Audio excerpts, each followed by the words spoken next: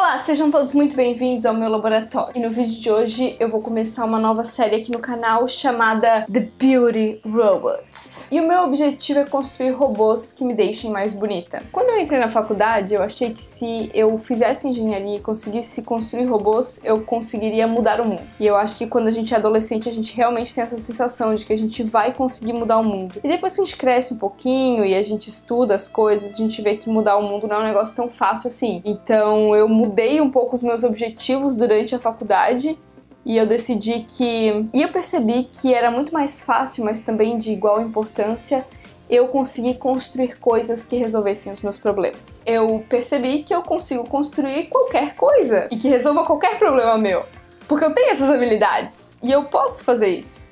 Então eu farei. E o primeiro vídeo será construir um robô que consiga passar de forma bonita e uniforme base na minha cara. E talvez muitos de vocês que estão me assistindo não saibam o que é este objeto aqui. Esse daqui é um objeto mágico utilizado por muitas garotas para passar um produto na sua cara que deixa sua pele mais bonita e mais uniforme. E o nome dessa esponja aqui se chama, sei lá, esponja de maquiagem, esponja para maquiagem. Mas a marca que ficou mais famosa lançando esse tipo de esponja foi a Beauty Blender, então então acabou que qualquer esponja é chamada de Beauty Blender e depois de adquirir muitos conhecimentos com as blogueiras na internet, eu sei que para passar uma camada uniforme de base na sua pele, fazendo com que sua pele fique bonita e natural, como se tu tivesse tipo nascido assim, o movimento correto para aplicar o produto é esse aqui.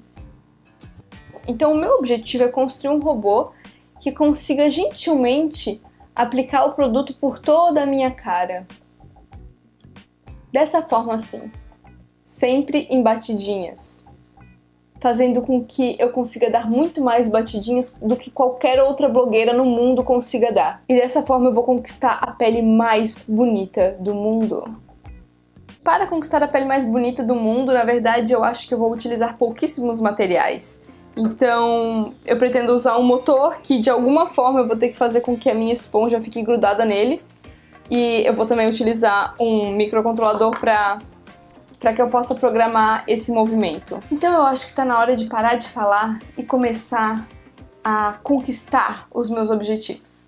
Esses aqui são os materiais que eu pretendo usar nesse projeto. Vou começar tentando fazer esse motor aqui se mexer de uma forma bonita, suave e movimentos repetitivos e com batidinhas leves. Vamos ver se eu vou conseguir fazer isso.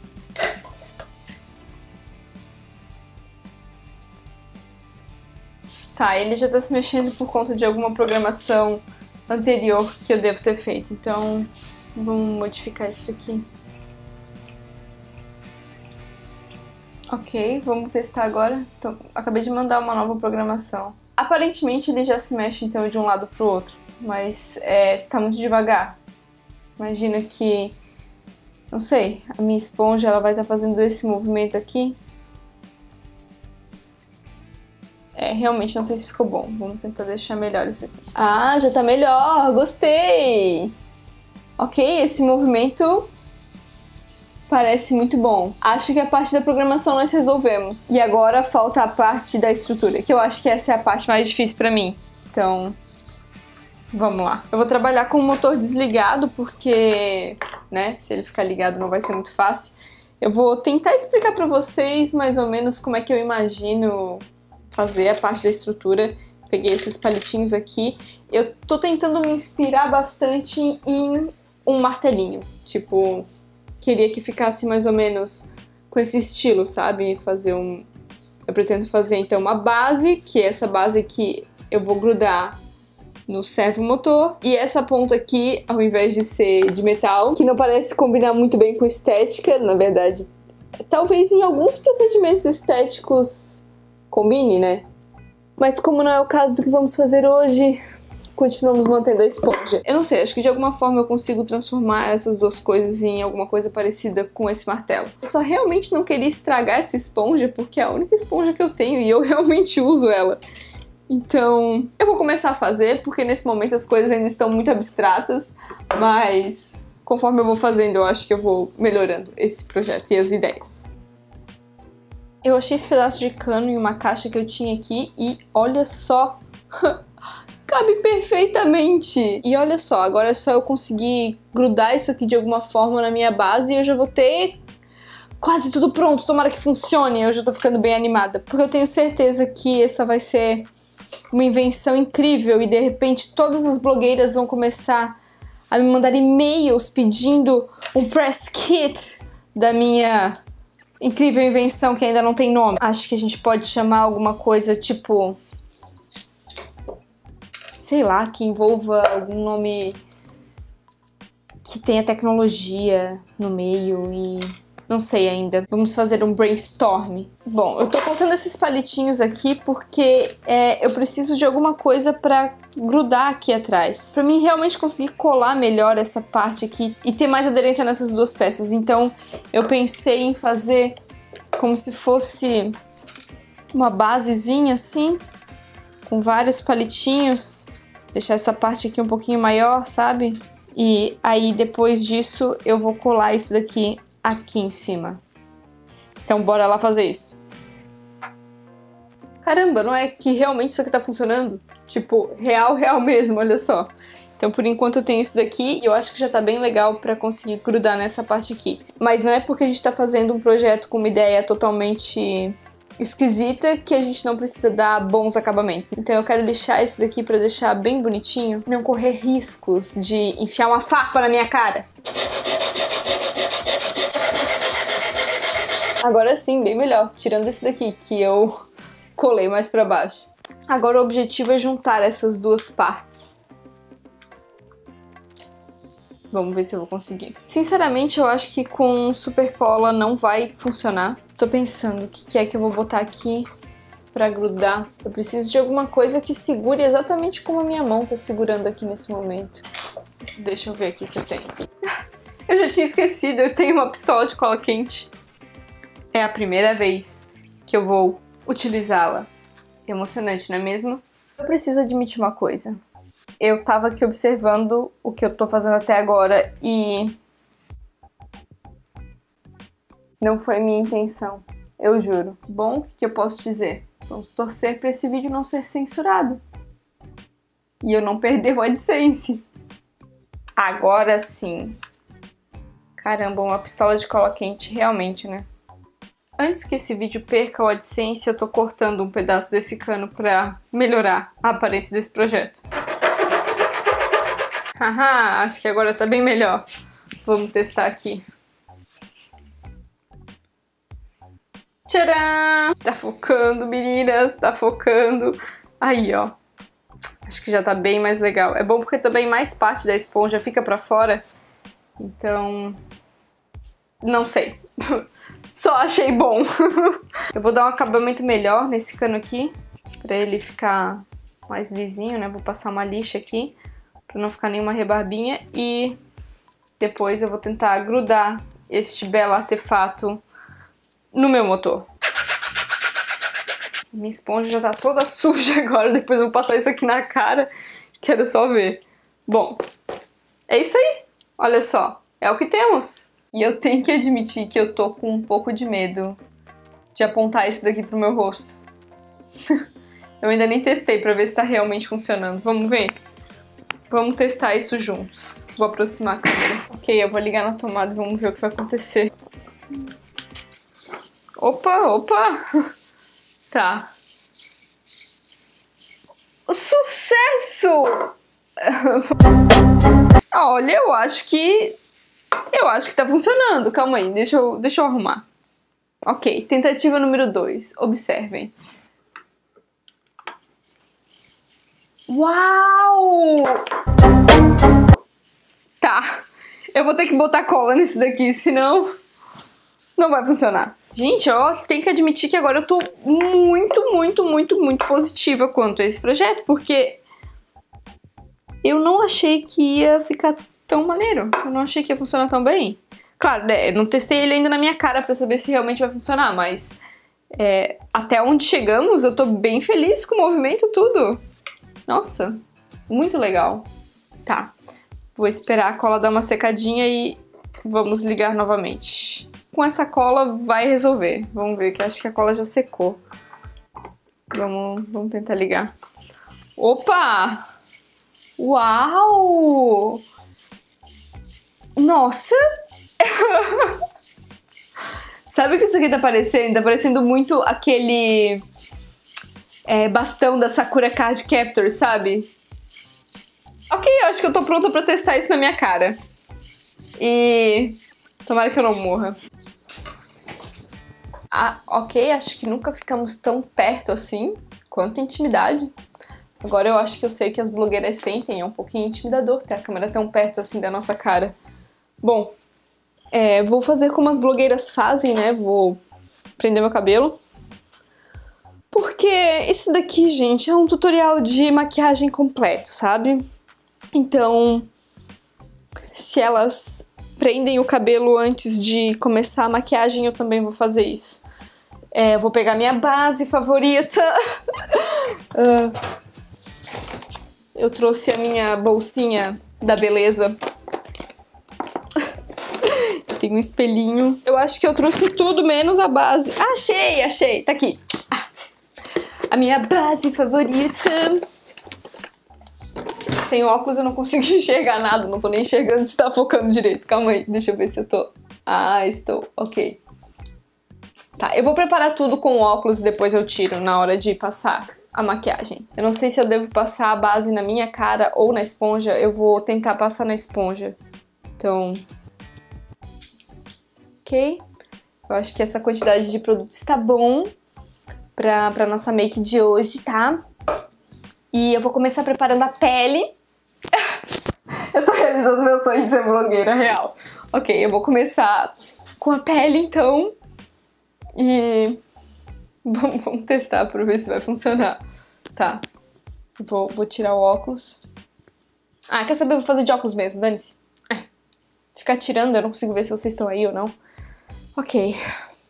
Hum, eu devia ter instalado um botão nisso daqui, né? Eu acho que a versão número 2 vai ter um botão, porque daí eu não preciso ficar colocando na tomada o tempo todo. Ai, ok, ok.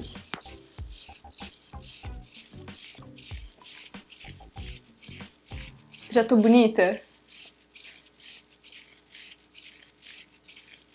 Olha, eu vou admitir que não é tão ruim quanto eu achei que ia ser. Até que tá funcionando muito bem. Não, eu tô, tipo, real impressionada, olha só.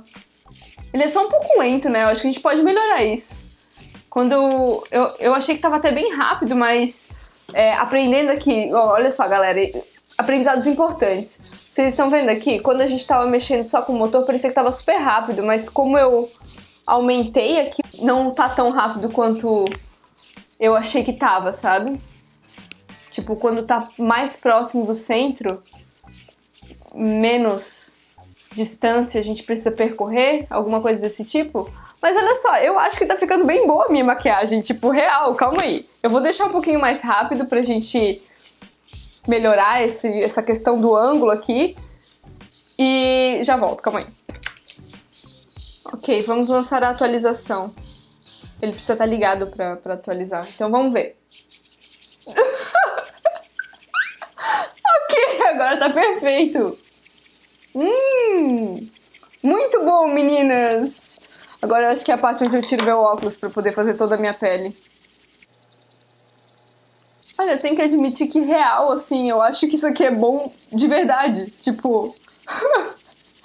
eu sei que parece ridículo, mas eu, eu realmente acho que funciona muito bem. Porque olha só.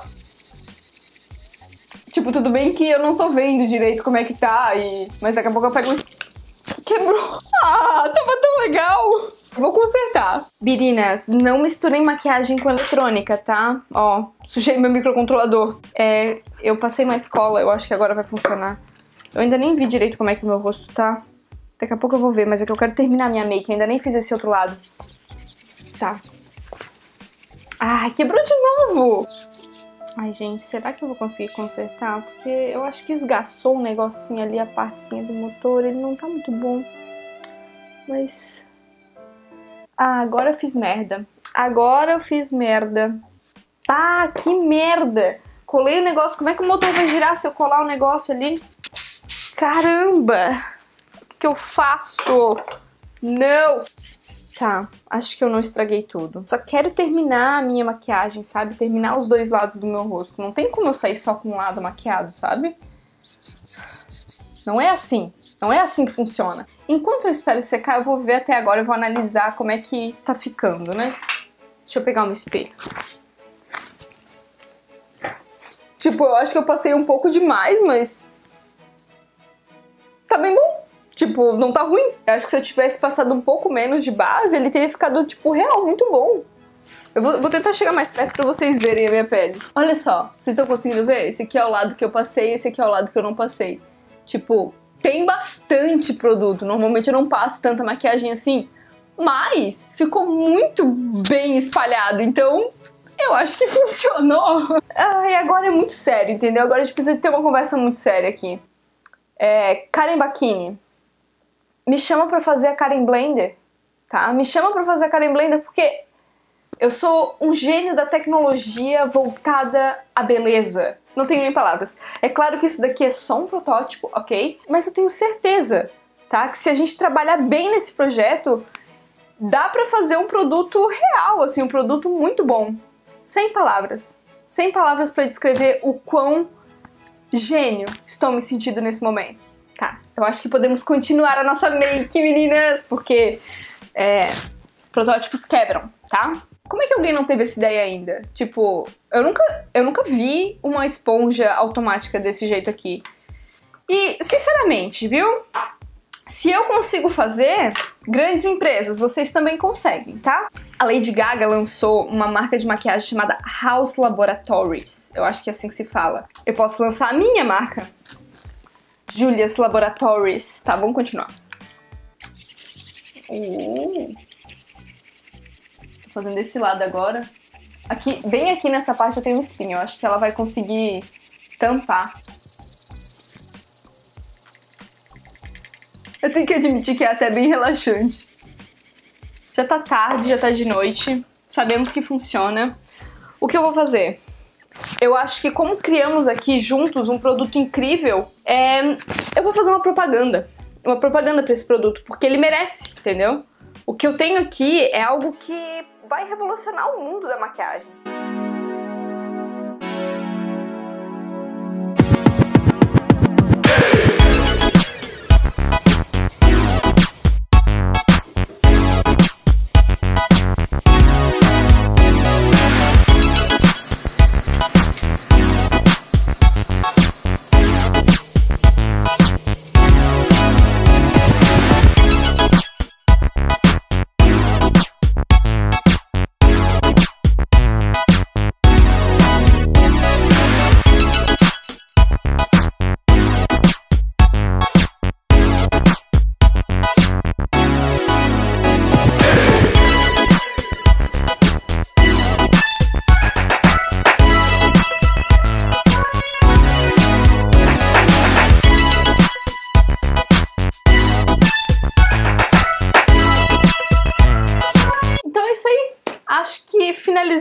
Com sucesso mais um projeto aqui no canal. E esse é só o primeiro vídeo dessa série de vídeos construindo segredos de beleza tecnológicos aqui no canal. Eu ainda tenho vários projetinhos que eu quero construir para trazer para trazer a beleza de uma forma mais tecnológica para o dia a dia das pessoas, mas vocês podem também deixar aqui nos comentários sugestões de que tipos de máquinas eu posso construir. Se tá novo, nunca viu nenhum vídeo, por favor, inscreva-se, seja bem-vindo, acompanhe todos os vídeos malucos de coisas malucas que eu construo por aqui no meu laboratório. Gente, eu espero do fundo do meu coração que vocês tenham gostado do vídeo. Os materiais que eu usei, né, de eletrônica, no caso, eles, eles vieram todos lá da Fornel Eletrônicos. Esse daqui, em específico, não é um vídeo patrocinado, mas eu sei que vocês têm bastante curiosidade em saber aonde eu compro os meus componentes eletrônicos e esses aqui eu ganhei lá da Fornel, então eu vou deixar o link deles aqui na caixinha de comentários para quem se interessou nesse grandioso projeto e quer fazer em casa também.